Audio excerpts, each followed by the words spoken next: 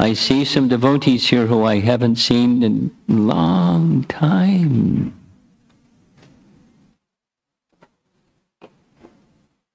And for those of you that haven't met Chandrasekhar Swami yet, he's over here.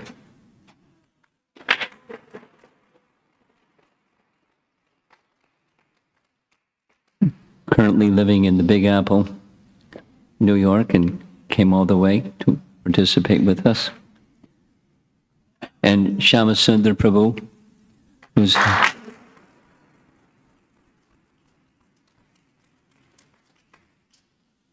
So from north, east, south, and west, we're, we're covered. And many of you are from closer by, and thank you all for coming.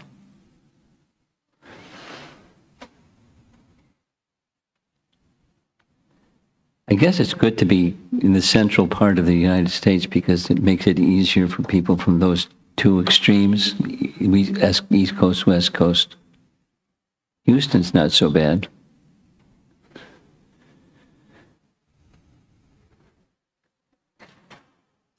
And just in case you haven't noticed,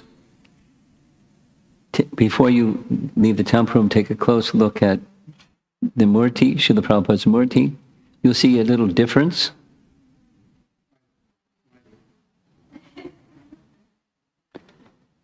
compliments of the artist Lochan Prabhu and his relationship with Premananda that inspired him to make yet another mold from which so many, oh, so many other murtis of Prabhupada have been made all over the world from this same artist and now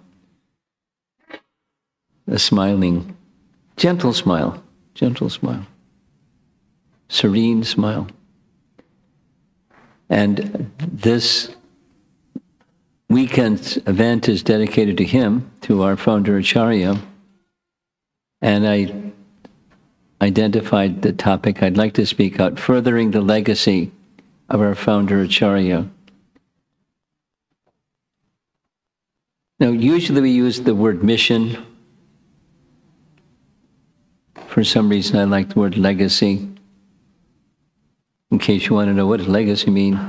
It can mean different things. Sometimes it means property, like money and buildings and passing it on to the next generation. That's the, the legacy of the person that, or persons that gathered.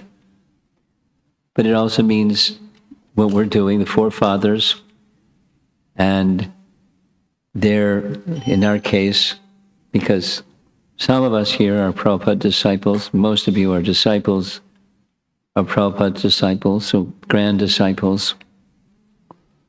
And that's, you know, because we have inherited something very valuable. I mean, you could list many valuable things. ISKCON itself, Prabhupada's transcendental writings, the mood, the purity, the gifts of the holy name, and so on. So carrying and furthering the legacy of our founder Acharya. There's a nice saying, someone sent this to me. A filial person is one who inherits the will of the ancestors and spreads their activities and contributions. Take your pick. There's this screen, there's that screen, there's that screen. We don't have one on the ceiling yet, but you can look in any direction you like. Thank you very much. That was a Jai, I guess. Yeah, Jai. Uh oh. Now, where does this quote come from? And is Nandimukhi here? Not yet. It's from uh, the grandson of Confucius. So you're like the grandchildren of Srila Prabhupada, most of those of you here, the disciples of the disciples. So here, here's the fellow, the grandson, and here's what he wrote, what, what's up top in Chinese. And he is the only grandson of Confucius, and he dedicated himself to take the teachings of Confucius and further them, repeat them, spread them, develop them, spread the activities and contributions of their ancestors. That's a filial person. That's supposed to be all of you. Some of you may know that before Srila Prabhupada met Srila Bhakti Siddhanta Saraswati Thakur, he was an ardent, not casual, but ardent follower of Mahatma Gandhi. And that was part of the discussion during their first meeting. And Bhakti Siddhanta managed to. Prabhupada said, when I was growing up, I would always win arguments. He was he's good at not like arguing, but discussing and prevailing in discussions. It would always prevail. The first time he was defeated was Bhakti Siddhanta, and he was happy to be defeated. Don't wait. Spiritual teachings are not dependent upon material circumstances. Now, you, there's no need to wait until India gets independence. The message, truth is truth. Present the truth, and it will ring. So, because of his being a, such a strong follower of Mahatma Gandhi, during the Gandhi Memorial, he was asked to be a speaker, if not the keynote speaker, and he wrote a paper. And one of the main messages in the paper was the way to honor a great person is not build a statue, name a building after them, name a street after them, name a bridge after them. Those things are done. But the way to honor a great person, that's what we're focusing on. Carry forward the legacy of that great person. What Prabhupada said is create a community where the values that that person held and upheld will be manifest in this world so people can see it works. These are values that are viable and powerful, and they work. So here we are with, with devotees from different communities all over, all over the place. And we're here to honor this great personality. Now, there are different ways to describe what that which he valued so much and to build communities that are resonating and manifesting those values. The, the, seven principles of ISKCON is one place to look. We'll spend a little bit of time this evening looking at two of them. Another is this phrase that many of us have heard Books are the basis, purity is the force, preaching is the essence, utility is the principle. If you haven't heard it, it's a good time to hear it, for, even for the first time. Books are the basis. In the, in the seven purposes of ISKCON, that was number seven for the aforementioned printing and distributing books.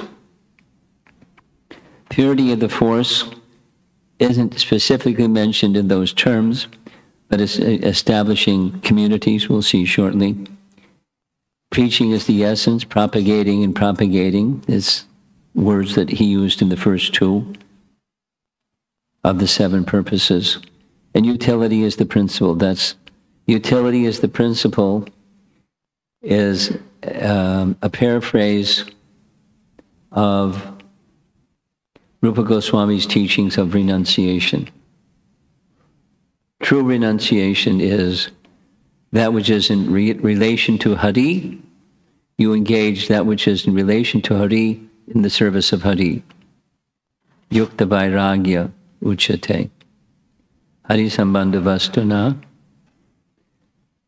things that are in relation to Hari should be used in the service to Hari. Utility is the principle.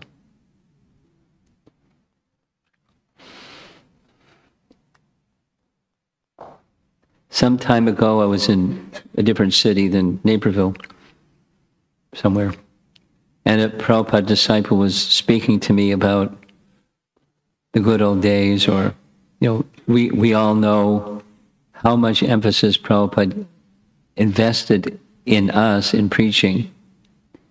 There was at one time a BBT publication that had a black cover and just letters on the front, something very similar in size to the um, Brahma Samhita, Sri Brahma Samhita book. Preaching is the essence. This now is a reprint with a different cover, but preaching is the essence, and it's something that all brahmacharis had a copy of, and we read it periodically and tried to live it. Preaching is the essence. And these preaching is the essence message, it's found right in the first two purposes to systematically propagate spiritual knowledge to society at large and to educate all people in the techniques of spiritual life in order to check the imbalance of values in life and to achieve real unity and peace in the world. Very high goal. Two is similar to one, but it's different. To propagate a consciousness of Krishna as it is revealed in the Bhagavad Gita and Srimad Bhagavatam. So preaching is the essence, utility is the principle. Books are the basis, and purity is the force. So the topic I wanted to speak about this evening is purity. What it is, how to attain it, and why it's important, besides it's just one of those four pillars. Something that an introspection reflex that I have learned over the years is if something isn't going well, I ask myself the question if Prabhupada was present, would things get worse, stay the same, or get better? And if it's not getting better, it's either staying the same or getting worse. And the answer is easy, it would get better. And why? What's the difference? Because purity. Because purity is the force. So if any, if me, if I or any one of us wish to see something that isn't what it could be, should be, and we're making some efforts to make it what it could be, should be, but somehow not happening, ask yourself the question. If Prabhupada was in this situation, would it get better, stay the same, or get worse? And if it would get better, why? Because of purity. Because of purity, the, the, the mercy of Krishna was flowing. He was empowered, you know, Krishna Shakti, Vina Nahi Tara Pravartana from Chaitanya Charitamrita. Because he was receiving Krishna Shakti, he was able to do things that other people weren't able to do. Again and again and again and again and then more in different places in different ways because of purity. So certainly we could say purity is something that we should strive for in our for, throughout our life. Wherever we are in our spiritual trajectory, don't become complacent. Continue to strive for purity. It's not like at some point the bell rings and now your your purity. You can relax. That's not quite like that. Continue and continue and continue. Be- become complacent and you go backwards. Don't go backwards. Don't be complacent. Continue to strive for purity because purity is the force. So, what is it? And then how to get it. There are some scripture references that help us understand. One of them is from Bhagavad Gita, chapter 13, texts 8 through 12. Some of you like Bhagavad Gita, and you know what those verses are. At the beginning of chapter 13, there's six questions, and the rest of Arjuna asked Krishna. Two pairs of three make six. Gyanam and Gayam, Purusha and Prakriti. What? Shastra and Kshatragya. Matter and spirit, matter and spirit, matter and spirit. Pairs of two. So when it comes to knowledge, that's the answer to what is knowledge is verses 8 through 12. And those verses 8 through 12, look at it as many times as you like, and you'll see that each one of them, there's 20 items, each one of them is a quality.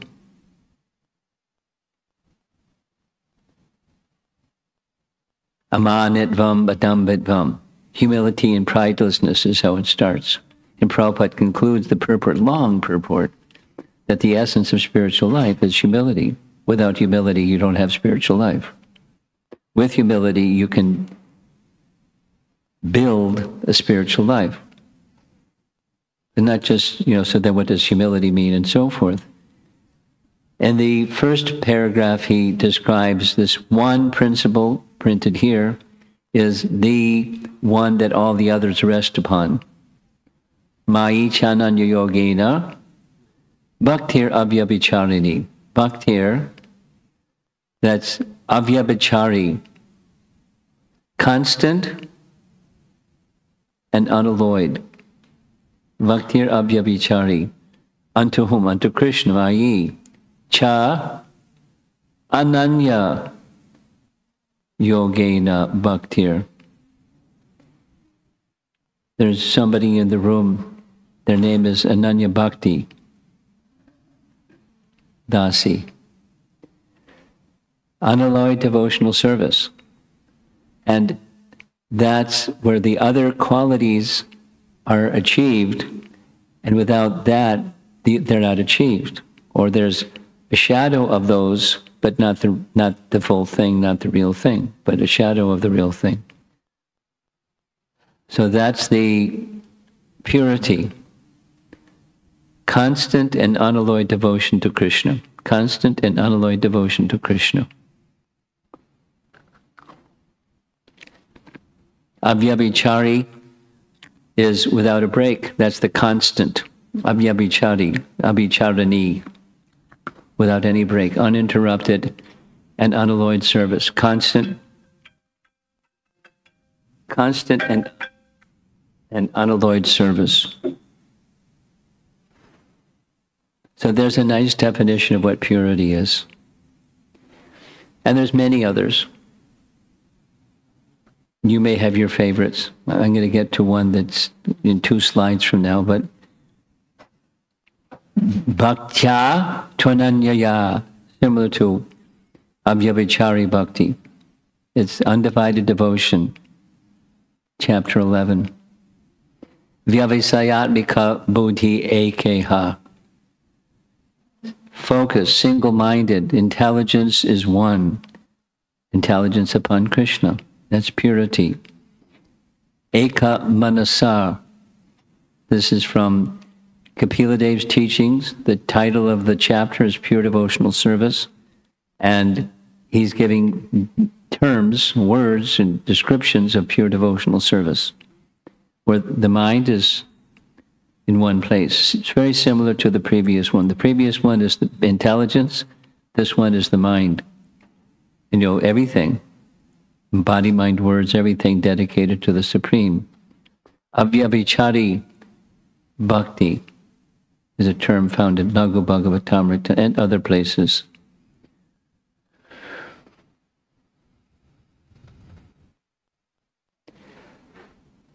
I came across a, a, a, phrase while I was visiting in Connecticut from Srimad Bhagavatam, Canto 2, Chapter 3, verse number 10. You can look it up later if you like. I have become very fond of this verse because it's describing purity. And the phrase is simple. It's from Jiva Goswami's Sandarbhas. Bhajaniya Parama Sukha Matra Svasukatvam. Notice that that line is all hyphen, so it's one word. But you can break it down into its parts. Sva means look at the last line. I'm going to go through the Sanskrit. I like. Sva means one's own. Sukha means happiness. Sva sukha. And tvam means having the quality of. So that which has the quality of one's own happiness is parama purusha sukha. Parama purusha sukha. The, the happiness of the Supreme Person is one's own happiness. Matra means always. And bhajaniya is just a nice adjective, a worshipable, the worshipable Paramapurusha's happiness, Paramapurusha Sukha, matra, always un, uh, unceasing, unchanging, unvarying, matra, swasukhatvam. That's purity. The way that Prabhupada has used it in that purport is he uses it as a definition. He explains it's a definition of desirelessness. Desirelessness in Buddhism means anesthetizing the soul. But that's artificial because when the anesthesia wears off, the soul has desire. So purity is not the material desirelessness, dial it down and try to shut it off. Desire, make desire zero, become desire less. We're speaking about purity. Purity is not to become desireless in that sense because it's artificial. Why? Because by nature the soul has desire. Why? Because by nature the soul has a loving relationship with Krishna, which is a desire. The Supreme Lord has free will, we have tiny free will, so you can't become desireless. Even if you desire to become desireless, the desire is concomitant with the soul. So purity is where the desire, because everyone wants happiness without exception insects. I was watching a couple of ladybugs in the room where I'm staying, looking for happiness.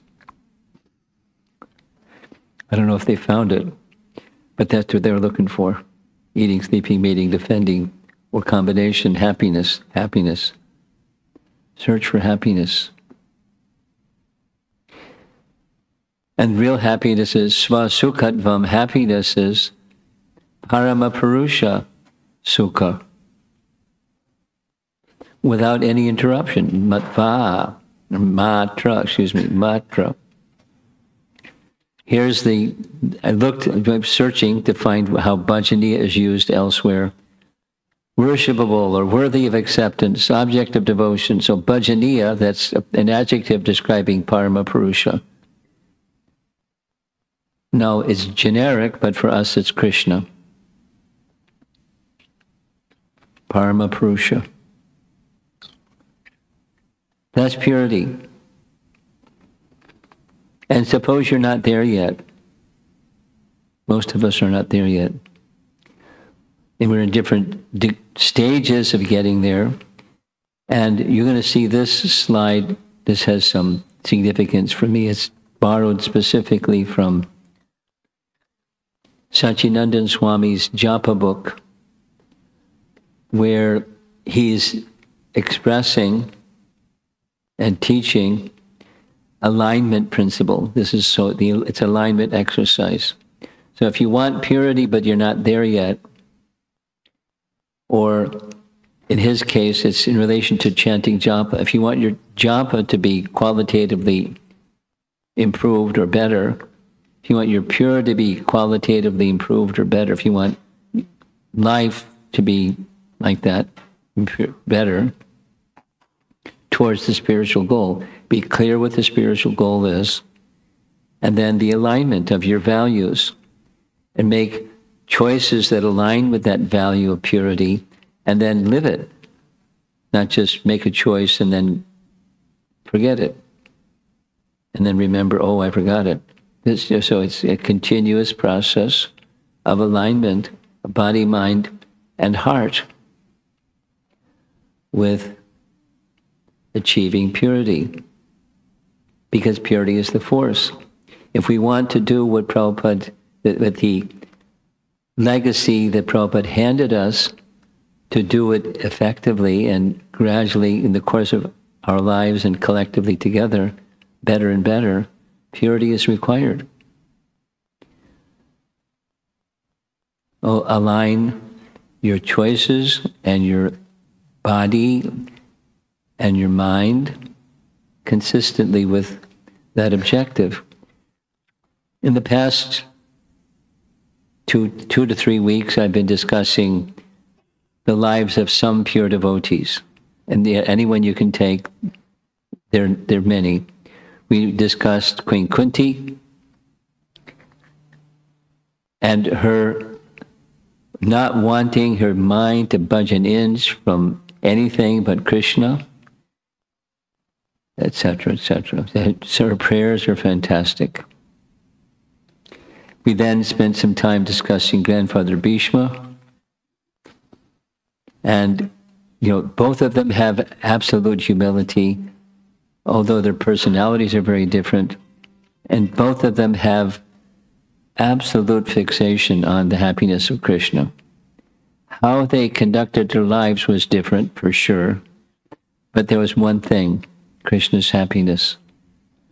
Without going through all of those, because we spent hours and hours discussing. But it's, it's a principle. And you can take any other example easy. Take take some examples. Bali Maharaj, Prahlad Maharaj, Dhruva Maharaj. Dhruva wasn't there to begin with, but that's where he that's where he got. He just all he wanted was what Vishnu wanted, etc., etc., etc. Think of any the six Goswamis or any of the associates of Chaitanya Mahaprabhu, Haridas Thakur, etc., etc., etc. Is humility amanitvam adam vidvam, they have this quality or character of humility and being very focused on the happiness of the personality of Godhead and striving. So I found, I looked up those words. I was very interested in this phrase from the Sandarbhas. Do it again. You can, you'll hear it several times. Bhajaniya, Paramapurusha, Sukha, Matra Swasukatvam.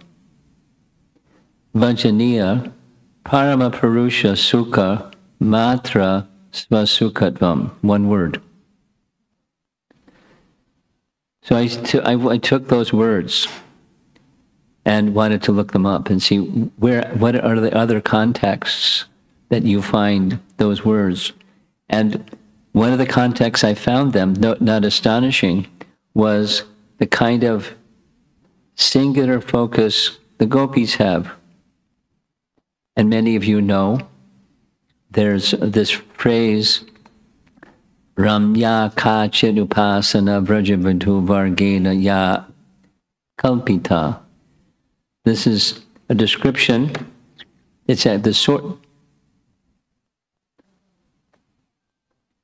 The source is a commentary on Shrimad Bhagavatam by Srinath Chakravarti. And in the invocation or introduction to his commentary on Shrimad Bhagavatam, he, this, this is where this phrase comes from. The Vrajavadu Vargena, that's the, the groups of the gopis,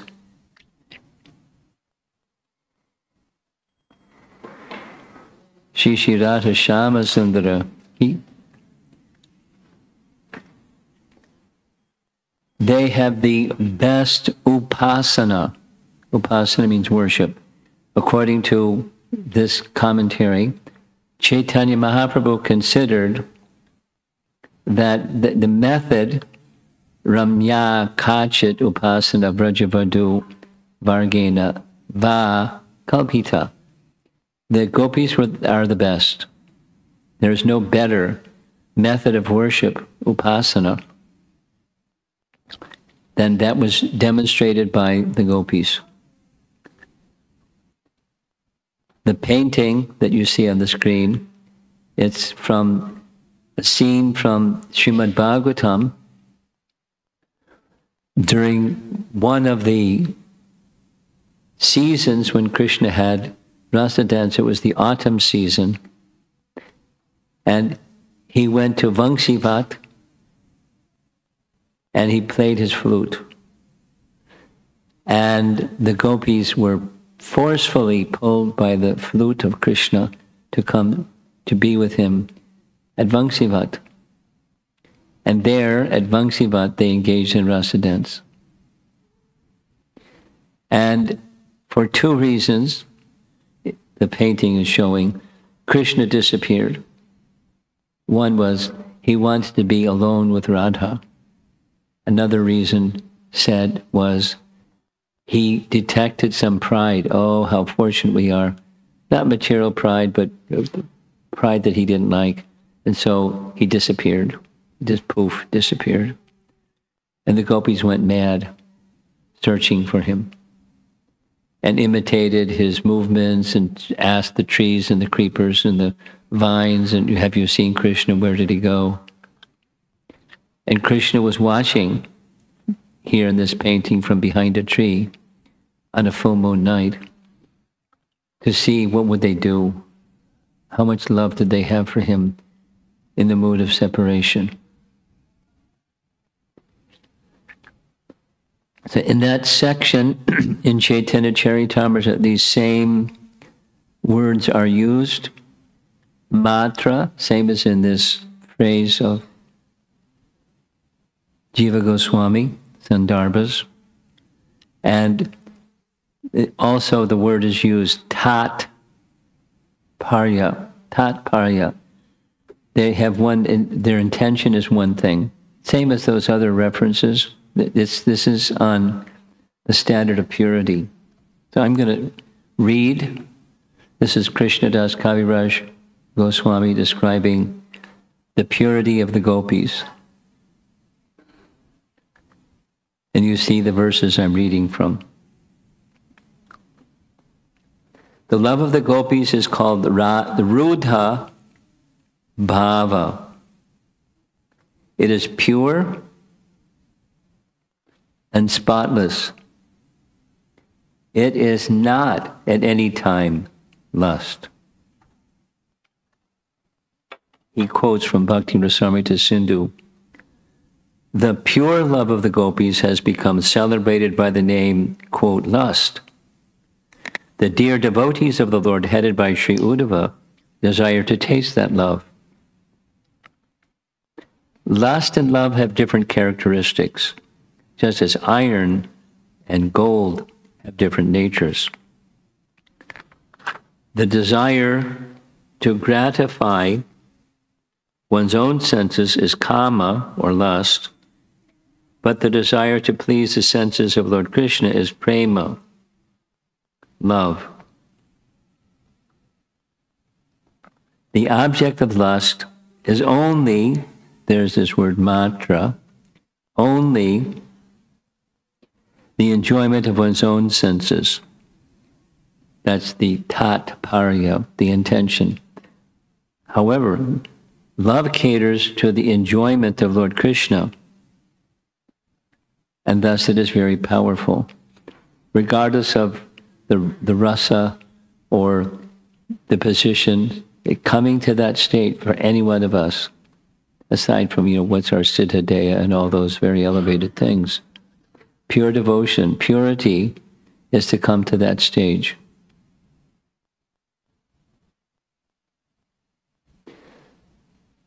Social customs, scriptural injunctions, bodily demands, fruit of actions, shyness, patience, bodily pleasure, sense gratification, and the path of Varnashram Dharma, which is difficult to give up. The gopis have forsaken all these, as well as their own relatives, and their punishment and scolding for the sake of serving Lord Krishna.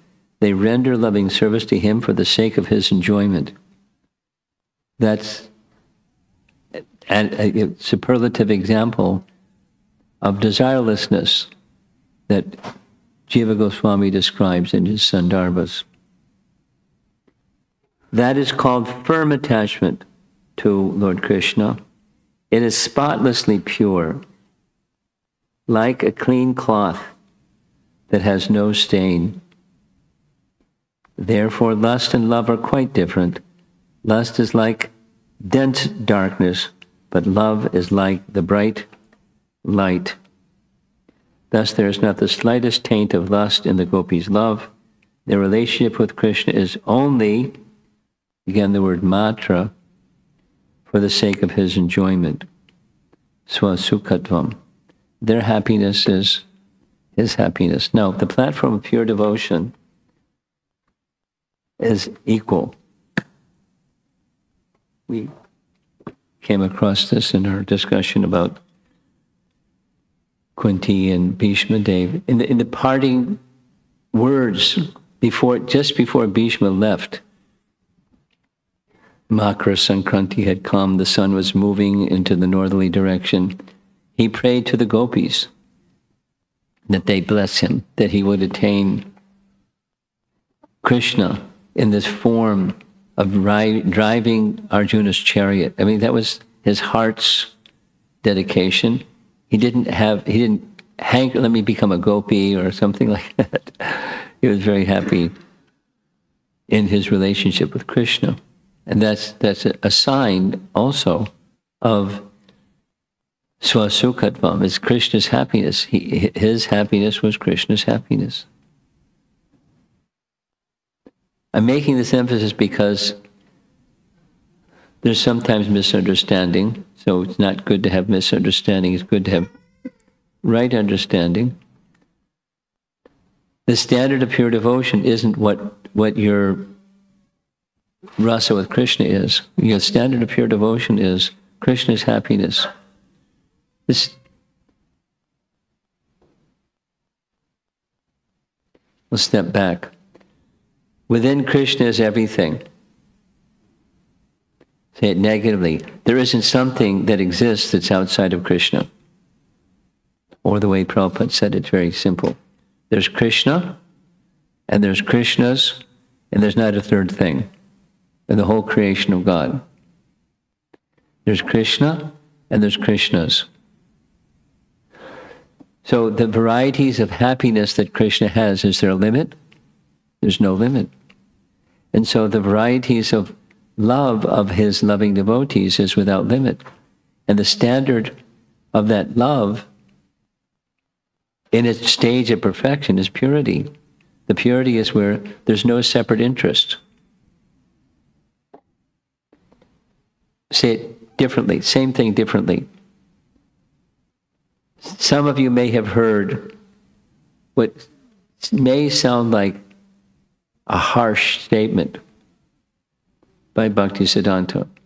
There's no love in this world. Wait a minute. Wait a minute. I love my children. I love my wife or husband, etc. I love my dog. I, I love, you know, I, I love. There's love. There's love. There's love. And his point is There's no love in this world. Real love is otherworldly because love in this world, there's always a separate interest. That what's in it for me? Now, what's that happiness where there isn't even a, fragrance, a hint, a touch of what's in it for me, like my happiness? What's that? That's purity. One more time. Bhajaniya, Paramapurusha Sukha, Matra, Swasukhatvam. Matra, only the happiness of Paramapurusha. Only. Always. In all circumstances. That's very elevated. And the, uh, we, have, we, we have been given, at least, the opportunity to know what it is. Back to the question I asked earlier in this what is it and how to get there? We have to know what it is in order to get there. It's really simple. You have a GPS. Turn your GPS on and start driving. Don't tell your GPS what your destination is. The GPS is going to tell you where you are on the road, but it's not going to tell you how to get to your destination because you didn't put in the destination. But if you know the destination, you have a good GPS, and then you know the satellite is still working. It'll tell you where to turn left, where to turn right. Sometimes we go to Gitanagari and they're doing some bridge construction. And it tells you, bridge out, you got to go that way. There's signs on the road that say detour, but your GPS will tell you too. Because you know the destination. So where are you? It's wherever you are. That's where you are. And the destination is where you want to go. So this evening's discussion is purity is where we want to go. So what is it? Why do we want to go there?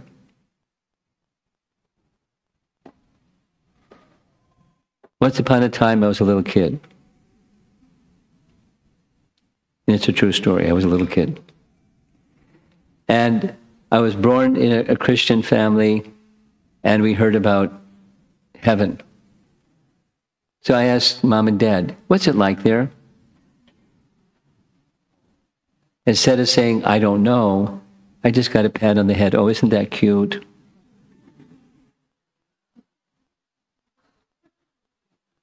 Guests would come to the home. They'd have me stand up and say, Say it, say it, go ahead, say it. It was embarrassing. I, I ran out of the room. Instead of saying they don't know. So I went to the priest. The priest didn't know either. What's the travel advertisement? Why should I want to go there? What's it like? So they don't know. I mean, at least those people I asked didn't know. So what's spiritual life anyways? What's it like there?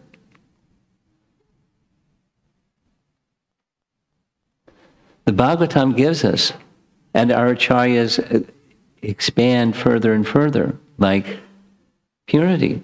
What is it? I'll say it again. People do things because we want happiness.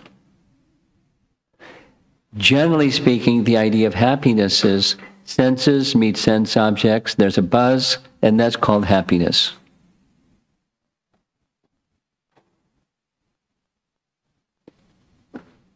I want happiness.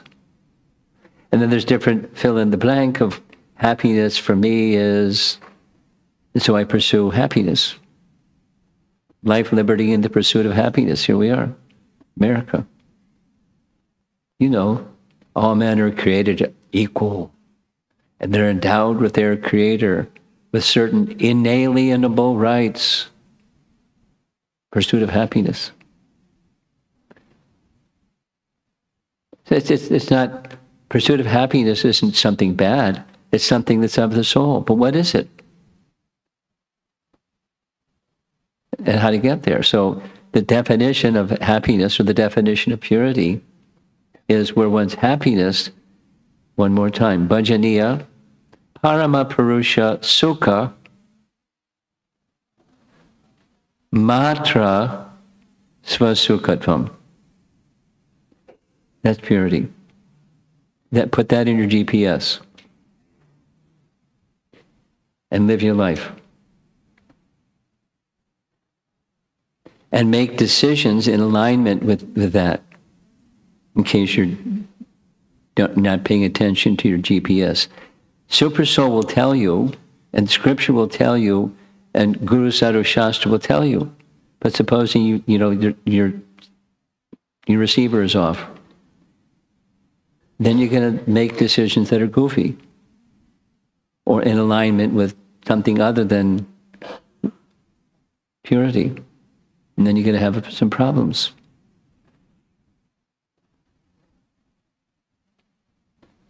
We were discussing material life is a continuation of problem solving. Here comes one, here comes ten. You you you completely forget the goal of life, or that what purity is, or what ha- Krishna's happiness is, and you're engaged in problem solving. And you work through the problem, and then you have more problems, and it keeps going on and on and on and on and on without any solution to the problems. What's the solution? Purity is the force. No, pleasing Krishna. To the, to the degree that one's own happiness is a non issue. Exactly as it was described about the gopis. But we also heard this exactly the same thing with Kunti and Bhishma. And take any, any other pure devotee. There's only one thing. Let's, let's say Prahlad. When Nrsingadev asked him, take something, what did he say? He said, there's nothing between us. I'm not a, I'm not a merchant, vanik. I don't do something to get something. So please don't ask me to take something. Because between us, there's only one thing. You're the master, and I'm the servant. And there's nothing else. Now that's, a, that's purity. And we're not there yet, which is quite okay. We want, it, it, it's important to know what it is and to want to get there, and then to strive to get there by the, the, the methods that Srimad Bhagavatam is giving, or Guru Sadhu Shastra have given us. Know what it is and keep striving in that direction. So that's this evening's topic. Purity is the force. To spread Krishna consciousness, to be Krishna conscious, to have a family, to have a community, to have even one relationship that's transcendental, where there isn't any consideration of what's in it for me or how do I feel about things today. That's, that's very pure. That's very pure. Purity is the force. So let's see if there's some discussion. Well, that was quick. Now, I purposely wanted the, this, these classes to be short. I have a tendency to talk too much. But short is sweet.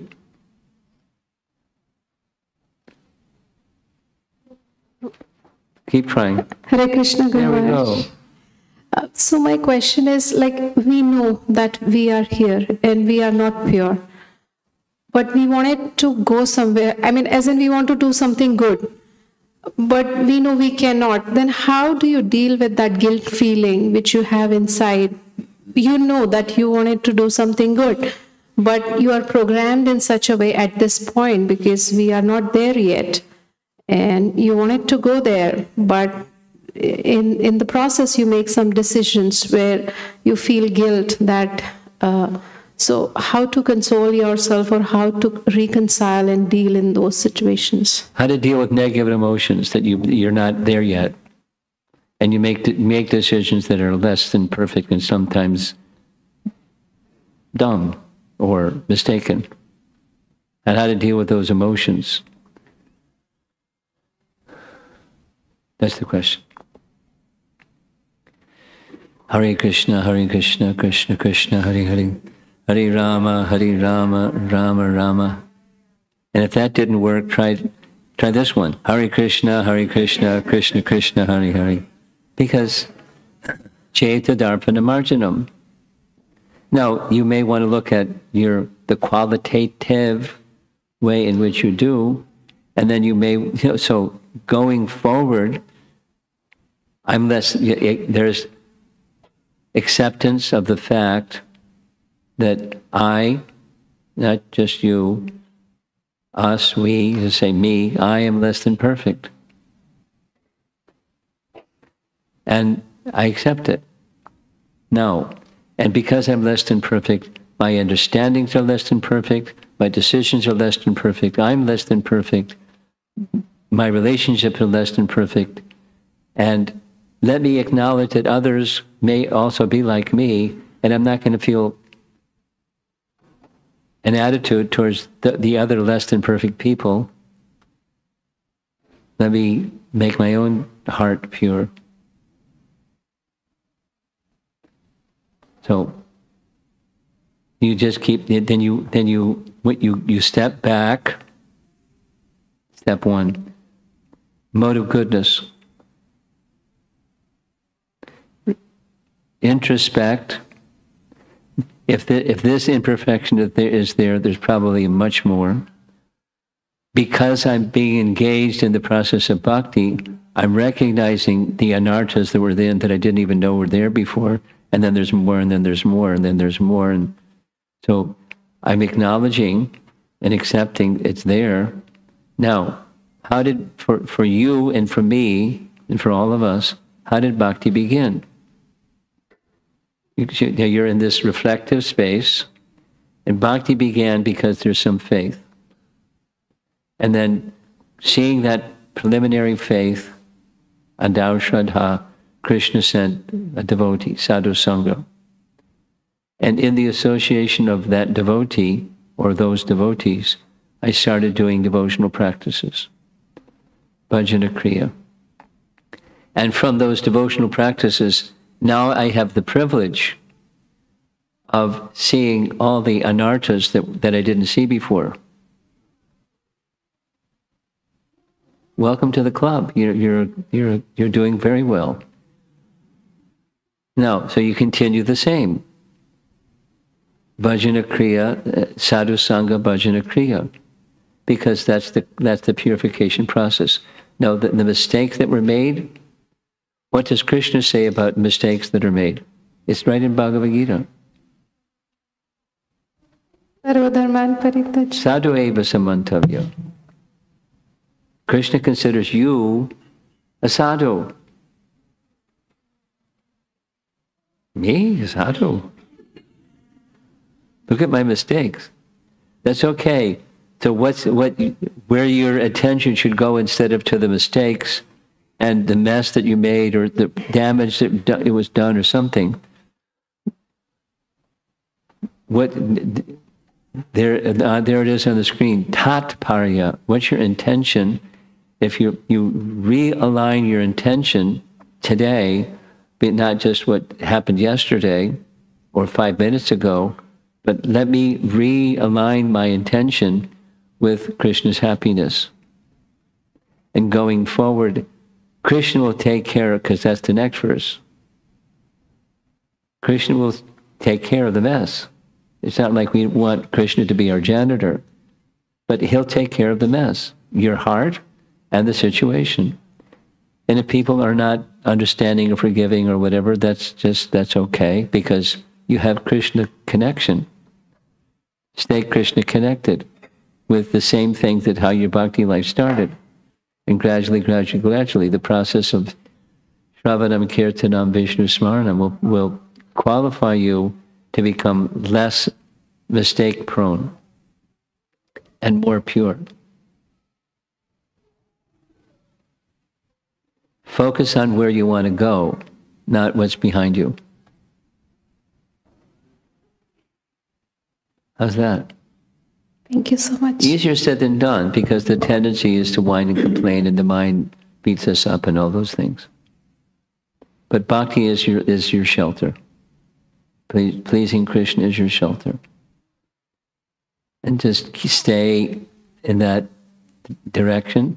Be, be uh, acknowledge the deficiencies, the, the anarthas, the whatever mistakes, whatever the shortcomings, etc.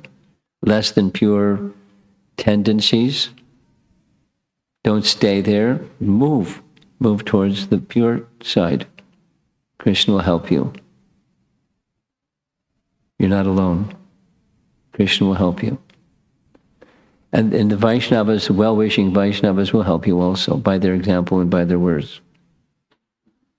You know, good, well wishing devotees will do like that. So keep that kind of. So pure association, elevated association, ultimately worship Krishna. That's what we do.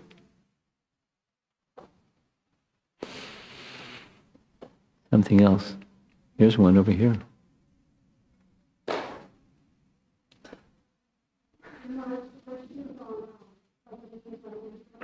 Is the button on?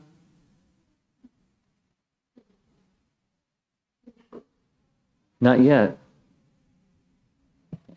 Nah. So the question is on Bhajaniya Paramasukha, that verse, Yeah. where Srila Jiva Goswami is saying that one should feel happy by experiencing Krishna's happiness. Yes. So I'm having hard time um, understanding that in a practical manner. Why? So, because at my stage, this is my understanding that I can tell whether I am happy or not, and Yes, if my happiness is sustained over a period of time with both favorable and distressful situations in life. But how do, in our stage, understand and experience Krishna's happiness? Because scriptures and what we have learned from our parampara is what, we know what makes Krishna happy. Yeah. But I'm having hard time understanding how do we experience Through through through authority. I mean, let me give you a little re- repeat one of Prabhupada's favorite lessons. How do you know anything? Through authority. You know that his favorite. How do you know who your father is? You ask your mother. And what, what if your mother t- doesn't tell the truth? Then you're not going to know. But you go to the authority. That's not a cheater. You go to the authority.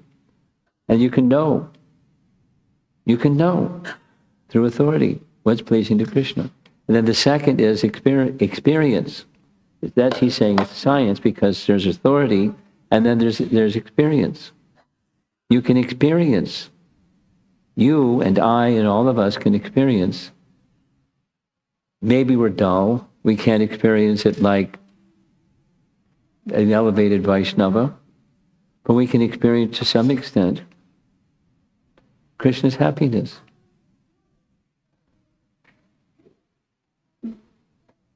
Knowing that we're in this mixed position. That's the perfect position, for sure. But through starting with the authority, Guru Sadhu Shastra, ultimately Shastra. and then move in that direction, and that purity comes. And then as your purity comes, then you have more uh, of a direct experience of what is Krishna's happiness. Can someone take care of these children whose children are doing this?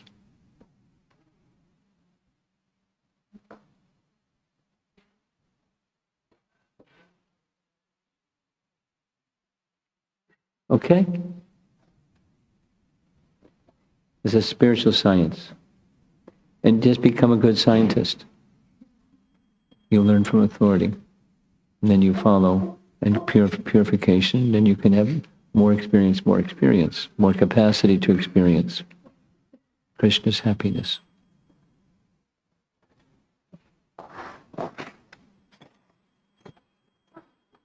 Shri Radha Shama Sundara ki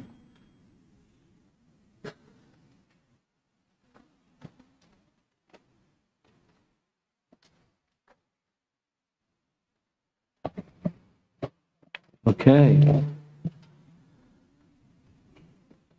Hare Krishna, Guru Maharaj. Hare Krishna.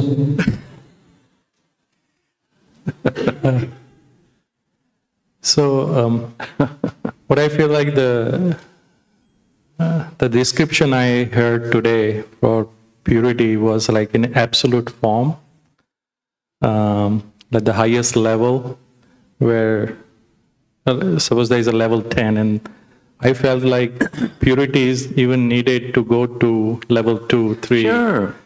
Yeah. So uh, I felt like Pusal uh, is deeper and deeper form of purity, like even following regulative principle, Okay. there is a purity coming with it. Uh, Good. what are the practical things that at my level I can do to cultivate purity? Hare Krishna, Hare Krishna, Krishna Krishna, Hare Hare, Hare Rama, Hare Rama, Rama Rama. You know, chant with, with attention and absorption. Two adjectives.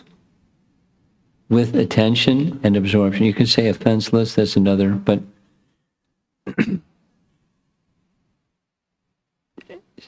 say it. uh, There are many ways to say what I just said.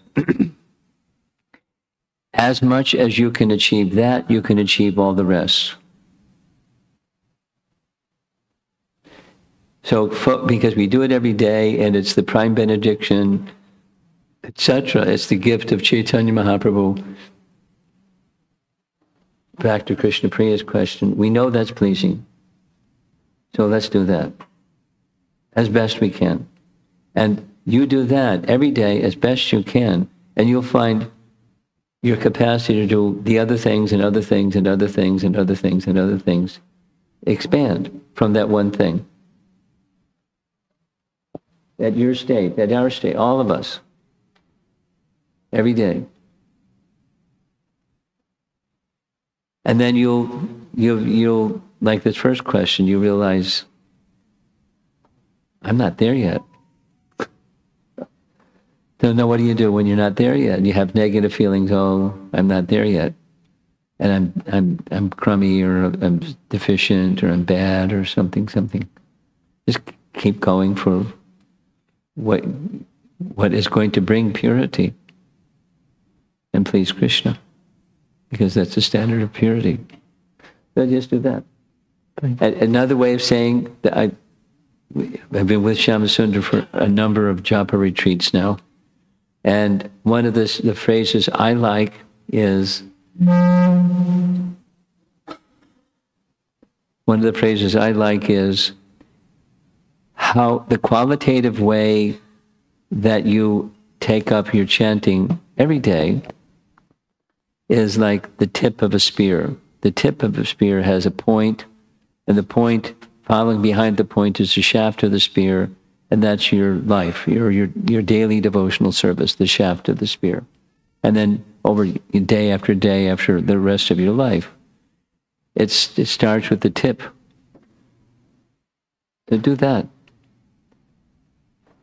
with attention and absorption. At, at least continue to try to, to do that. That's what you can do. And everything else will become possible.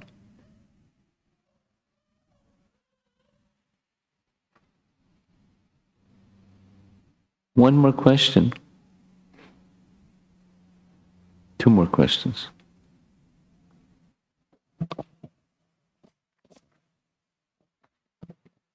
Hare Krishna Maharaj. Uh, you made a point about Srila Prabhupada, like where we have been in the moment, if Prabhupada was physically present. Like um, if Prabhupada was, like uh, we could have done better, same or worse. Oh, yeah, yeah, that one, okay. Yes. But don't we have the instructions of Srila Prabhupada? We have like Yes. And how and how how good are you or I or any one of us being an instrument of that instruction? There's the instruction, there's the wielder of the instruction, and there's the tool that's being wielded. How sharp, how effective is are we as a tool? The nimitta, the instrument. Nimitta matra bhava savya sachin. Become a, so we're, we're dull instruments. Okay. The instruction is not the problem. Mm-hmm. We're dull. To be honest, what to do? Hare Krishna, Hare Krishna, Krishna Krishna, Krishna, Hare Hare. Hare Ram, Hare Ram, Ram Ram, Hare Hare. Hare Krishna. So, uh, in the case of overthinking, when you know that something bad is approaching, and day by day you know that it is becoming more intense, so how do you uh, stay happy and and uh, seek purity in the mode of goodness How to stay happy in the mode of goodness and uh, stay in the mode of goodness? and stay in the mode of goodness when there's swirling around of the mind and circumstances. right. Right.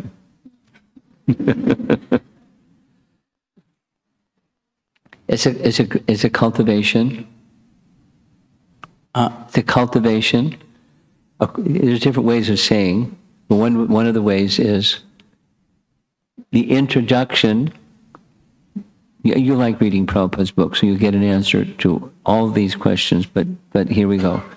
Introduction to Nectar of Devotion he's paraphrasing the, the definition in Bhakti Rasamrita Sindhu or Nectar Devotion about what is bhakti. And he says, bhakti is a sort of cultivation. What does that mean? Hmm. Bhakti is a sort of cultivation. I'm not there yet, but I'm going to cultivate getting there. And, and what do I, where's my uh, attention go while I'm cultivating trying to get there, that Krishna should be pleased.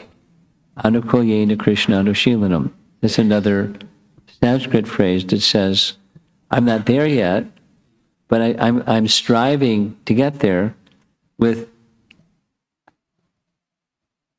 shilana, or behavior and conduct that's pleasing to Krishna, favorable to Krishna.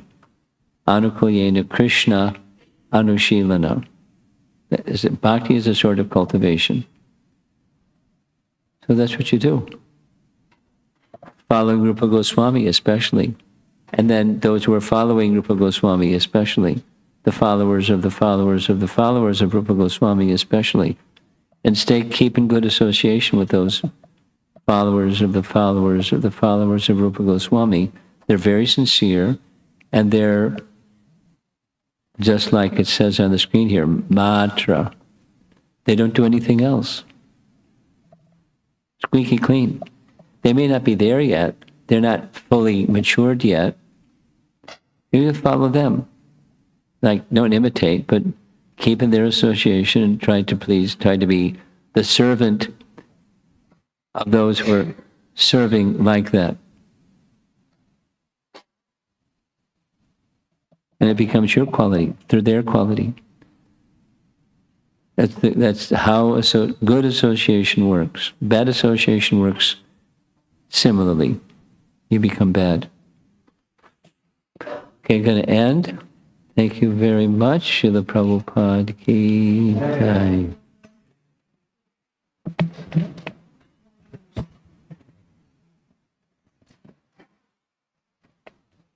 Okay. Hare Krishna. Vanchakalpatarubhyascha kripa sindhubhya eva cha patitanam pavanebhyo vaishnavebhyo namo. I just want to offer a very warm welcome to people coming from all over the country and the world. Um, it's beautiful to see lovely friends' faces here. Thank you all for being here. I was thinking that the last year we were in a much smaller facility, and if we had to fit everyone in here in the building next door, which was just recently demolished, I don't know how that would have happened. So many thanks to the devotees who put in endless hours and finances to provide this facility to celebrate such a wonderful festival.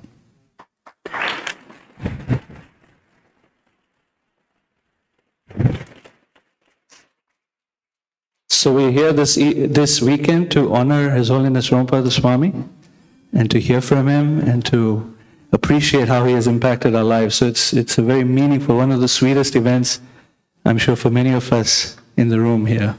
The sweetest events in the year.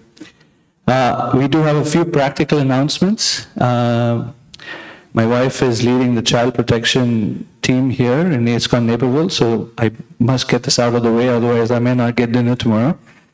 Uh, children 12 and under need to be taken care of uh, by parents. You need to watch them, or at least have one trusted guardian who is watching your children. 13 and above, or 13 to 17, at least know where they are, minimally. Anything else on the child? Okay, good. Uh, we do have, the temple does have a facility for a toddler room, so if you have young toddlers and you want to take care of them, you can, there's a toddler room on the first floor. And close by there is a bathroom, so if you've not found the bathroom yet, it's on the first floor. Uh, a request is shoes should be kept on the racks, the shoe racks, not anywhere on the floor, not outside the temple room. Kindly put them on the racks so that it looks nice and organized. Um, parking is, obviously, we have the temple lot parking as well as next door, right next to the temple, there's a, I think it's like a dental office or something like that. You can use the parking lot there. And there's also street parking in the subdivisions close to the temple. Don't park on the main street, which is McDowell Road, but certainly the um, uh, nearby subdivisions. Uh, a couple of last things I was requested to announce that there's a bunch of, there's three crates of books that need to be transferred up to the third floor of the building. So if you can contact Govinda Mohini Mataji uh, to, uh, to, to volunteer, we need how many volunteers? 10? As many as we can. So there are about 350 here. So, so if we have maybe 5% can help. It would, it would happen really quickly. So if you can contact her, they're downstairs. They need to go up to the third floor, and we have carts to help get that done. Before we have dinner downstairs in the um, uh, in the community hall, there's going to be a couple of musical offerings. First by um, Anshuta. Is she here?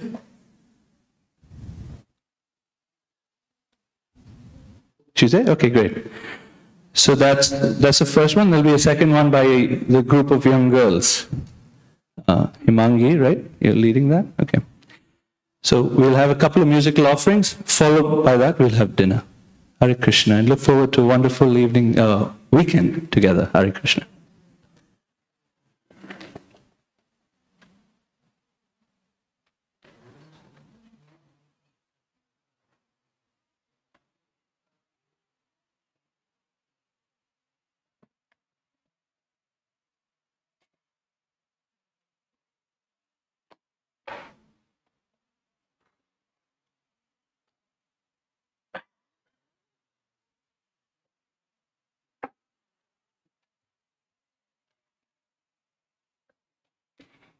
You need a microphone? Yeah.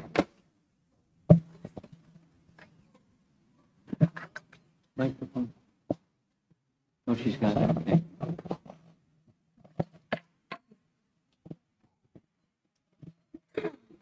Okay.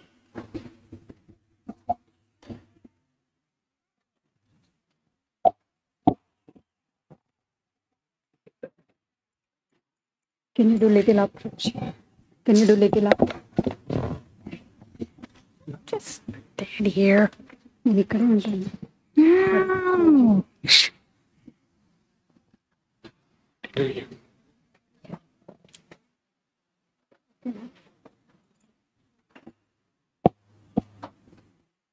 Is this okay? నీకు ఓకేనా చూడు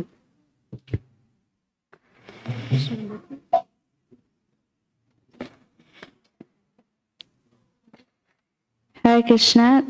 Today I'll be singing Ebar Karuna Koro as an offering to Gurmaraj.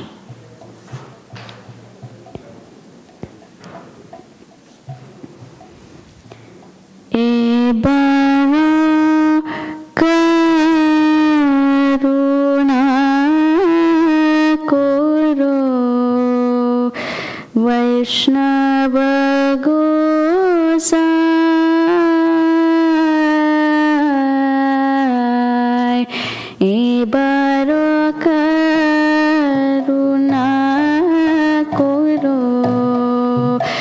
Krishna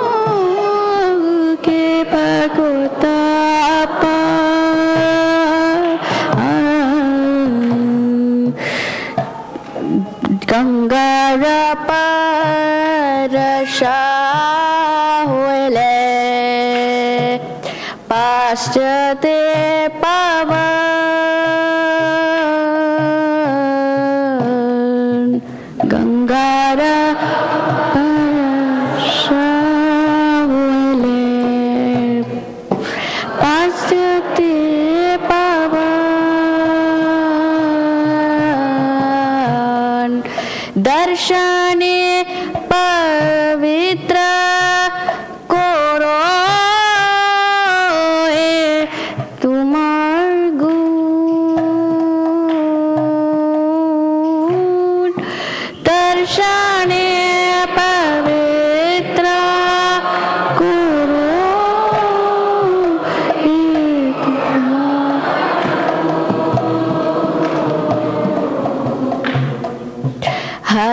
स्थाने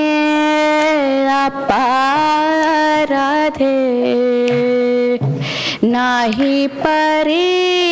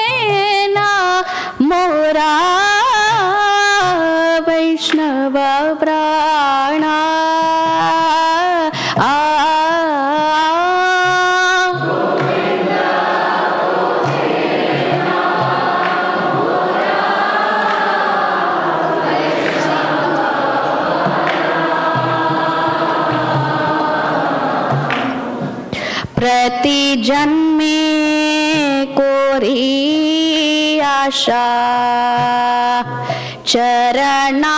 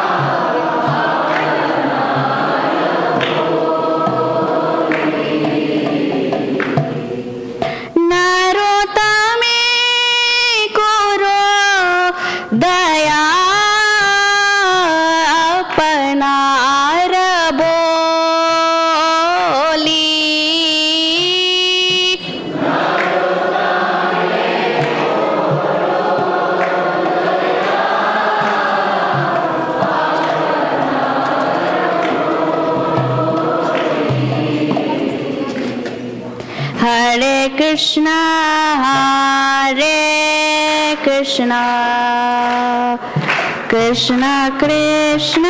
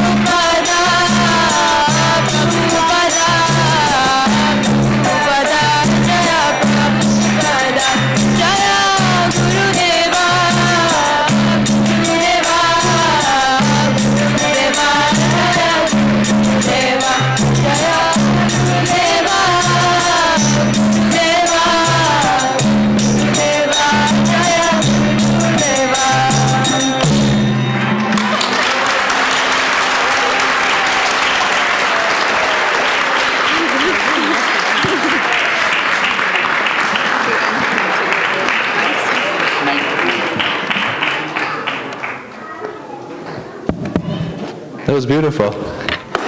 Let's.